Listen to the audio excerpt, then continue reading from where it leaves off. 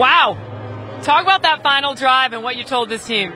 Yeah, I think uh, you know we needed 35 yards. Uh, we definitely hit a lull there in the third and fourth quarter, but uh, I think that's kind of the way this team's wired. You know, the defense. It's not always pretty, but we're a gritty group and found a way.